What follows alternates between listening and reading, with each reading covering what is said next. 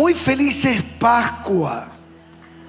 Estamos celebrando esto que bien llamamos Semana Santa o también denominada Pascua.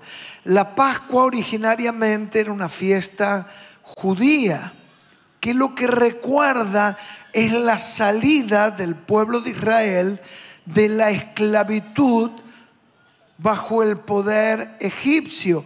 400 años se encontró Israel sometido, siendo esclavos, bajo la dominación egipcia. Y había llegado el día y había llegado la noche. Y la orden fue que en cada casa hebrea se comiera un cordero. Y con la sangre, al ser sacrificado, se tomara en un hisopo y se pintara el marco, el dintel de la puerta. Y esto es la historia que recuerda la Biblia en el libro de Éxodo. Iba a ser la señal para que cuando pasara el ángel de la muerte y llevara mortandad sobre la tierra, donde viera el ángel la marca de la sangre, ¿qué iba a hacer? Iba a pasar por alto. En inglés, Pascua es Passover, es pasar por alto. Exactamente lo que hacía el ángel en aquella noche de la muerte. Y miren que no fue casualidad que en Pascua, en la Pascua hebrea, Jesucristo va a morir en la cruz, imitando el sacrificio de aquel cordero en cada casa donde la sangre era derramada, para que por medio de esa sangre fueran libres de la esclavitud y salieran a una nueva vida. Es decir, Jesús el Cordero de Dios era sacrificado en esa noche para que vos y yo y todo el que creyera en Él tuviera la oportunidad de salir de toda esclavitud a una nueva vida. Por eso podemos decir en esta hora, muy feliz Pascua a cada uno de ustedes. Aunque bien saben que cada vez es como va quedando en el olvido. Estos días son más denominados como un fin de semana largo, donde uno dice qué podemos hacer, qué podemos comer, dónde nos podemos juntar. Y no falta quien dice cuando encuentra a alguien que se va a tomar unos días, che, si tenés un lugarcito, me meto en el baúl y llévame. Y quizás queda en el olvido el significado de lo que antes te estaba contando. Y sobre todo nos da libertad y victoria en las grandes batallas de la vida. Las grandes batallas de la vida se libran, ¿saben dónde? Aquí en la cabeza. Porque todo lo que uno hace en la vida, para bien o para mal, es una consecuencia de lo que ha concebido y decidido en la órbita de los pensamientos. Y es allí donde se producen las peores decisiones o las mejores decisiones de la vida. Y quiero que para esto, para que podamos descubrir cómo poder encontrar victoria en las batallas de la mente, podamos ir al libro de Romanos capítulo 8, versículo 33, que nos va a recordar el significado de la muerte y de la resurrección de Jesucristo, la cual recordamos en estos días de Pascua. Romanos 8, 33. Dice allí la Biblia, ¿quién acusará a los escogidos de Dios.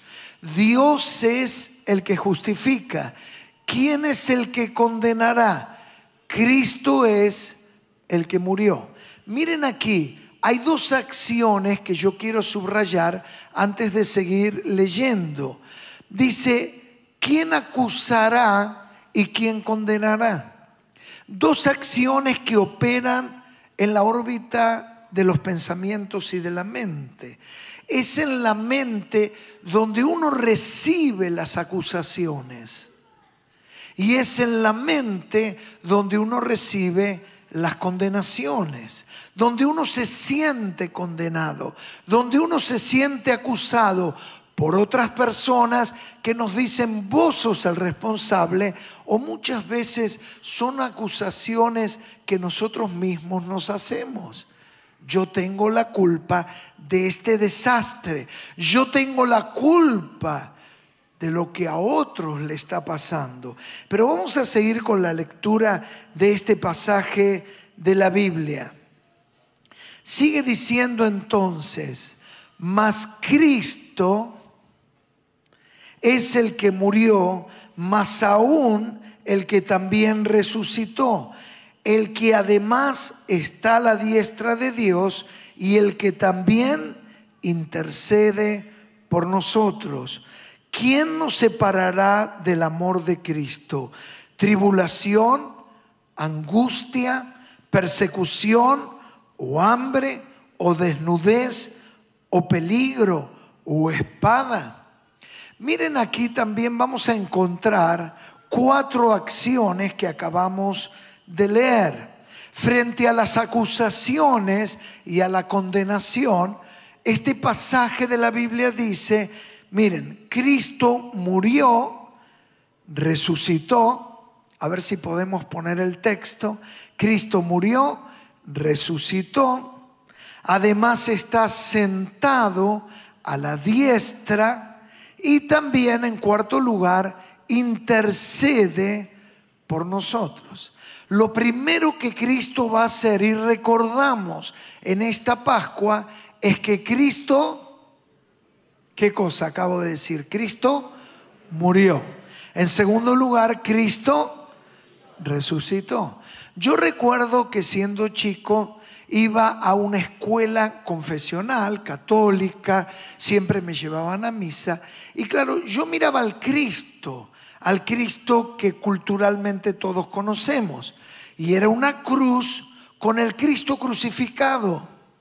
Y la imagen interna que yo tenía era decir, ¿qué puede hacer pobre por mí si él mismo no pudo salir de la cruz. Es decir, yo tenía la concepción que Cristo había sido crucificado, pero ahora estamos leyendo que también resucitó.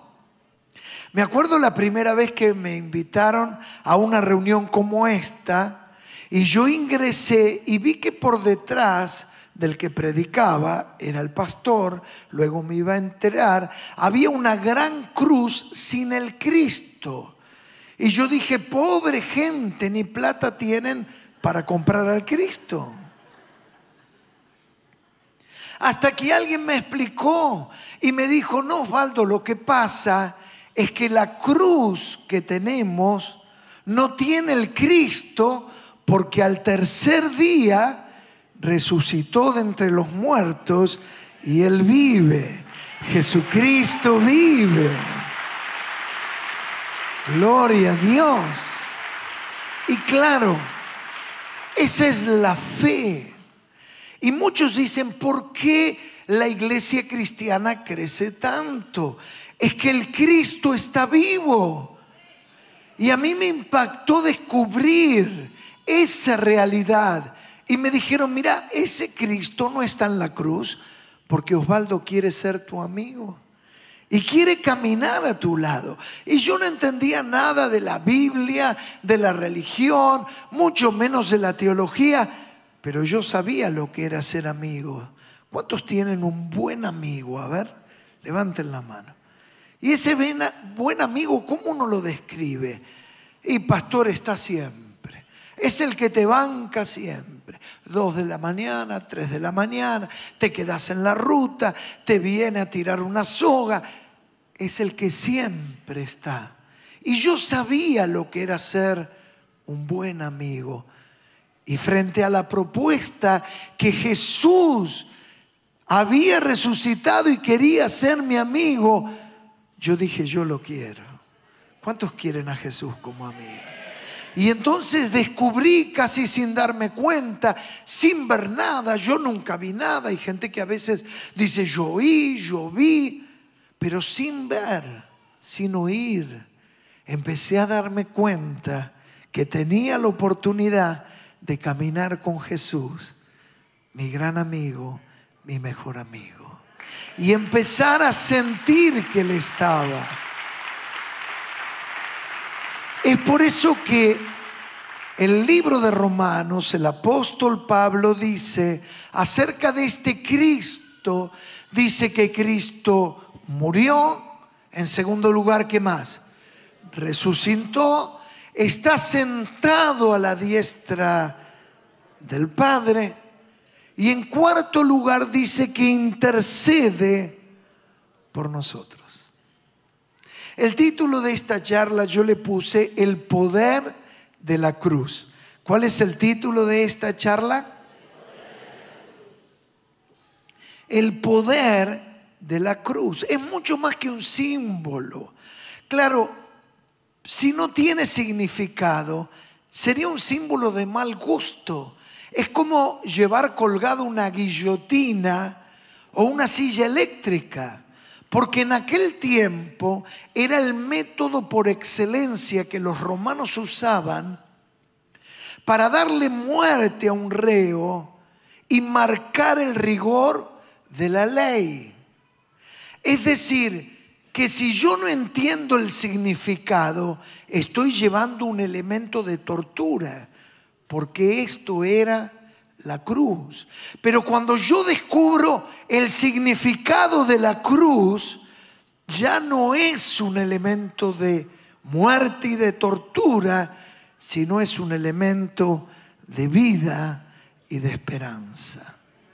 ¿Y qué vamos a decir al respecto? Que la cruz es poderosa para cancelar toda acusación. Lo primero que leímos en Romanos era que decía el apóstol, ¿quién acusará a los hijos de Dios? ¿Quién acusará si Cristo murió? Claro, el pasado muchas veces es un elemento de acusación, porque todos hemos cometido errores. A ver, ¿cuántos han cometido errores? Levanten la mano. No cometas el error de mentirme y no levantar la mano.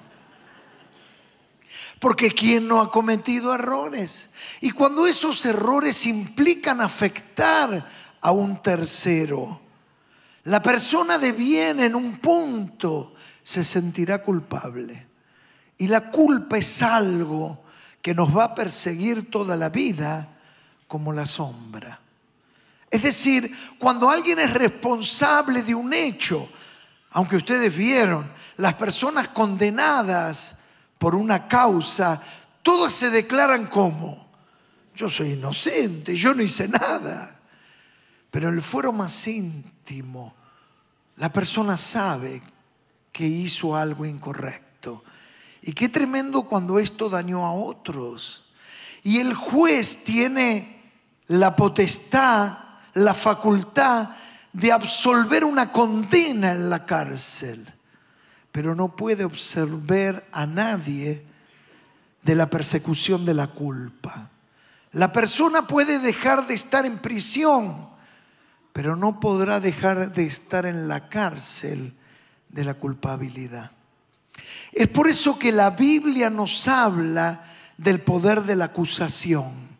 Es ese dedo, es ese, esa tortura ese verdugo interno que quiere someternos porque hemos hecho lo incorrecto. Y ustedes saben que hay un mecanismo psicológico que cuando alguien hace algo malo, no está en la Biblia, pero esto es un adagio universal, el que las hace, como dice, las paga. Y ese es un mecanismo interno, que cuando hay una deuda cometida, alguien la tiene que pagar. Y esa acusación muchas veces pende sobre nosotros. He sido un mal tipo, una mala mujer, un mal hijo, un mal padre. He hecho lo incorrecto y muchas veces este es el elemento que casi de manera inconsciente hace que nos neguemos a la mínima posibilidad de poder ser felices. Es como que uno se auto boicotea y dice, yo no puedo ser feliz porque he sido una mala persona, porque he hecho lo incorrecto y he dañado a personas. ¿Cómo poder ser libre del poder de la acusación de la culpa? Jesucristo muere en la cruz del Calvario específicamente para cargar con toda la culpa de nuestros pecados y nuestros errores cometidos. Es por eso que uno sabe que la cuenta ya está paga y Cristo murió por mis pecados. ¿Cuántos dicen amén? Y es experimentar el favor. Uno está acostumbrado siempre a hacer algo. Yo me acuerdo que regresando de predicar en una iglesia, venía muy tarde a la noche eran ya más de las 12 y venía con uno de mis hijos y le dije, mira, en casa no hay nada para comer, paremos en esta pizzería. paramos, comimos una pizza y claro, me quería ir, llamé al mozo y le dije, me trae la cuenta y él me dije, ya está pago. Digo, no entiendo. ¿Cómo que está pago? Quiero pagar. Me dice, ya está pago. No, no, no. Yo quiero saber quién pagó. ¿Vieron? Uno quiere pagar, uno quiere hacer algo. Uno entiende que cuando hay una deuda, la deuda hay que pagarla. Entonces el hombre me dijo, ve ese que está en la caja, ese es el encargado, ese pagó por usted. Entonces yo me levanté y fui a la casa, a la caja, y le dije, mire, quiero pagar y el mozo me dijo que usted pagó por mí. Me dijo, ¿usted es el pastor de la iglesia? Sí, sí, sí. Me dice, hace ya un tiempo atrás mi hijo comenzó a ir y él estaba con serios problemas y él salió adelante.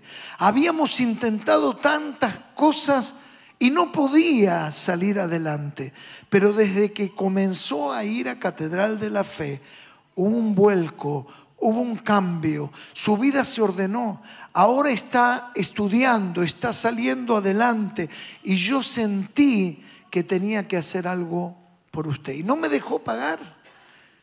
Claro, porque una vez que algo está pago, ya no se puede volver a pagar si alguien pagó.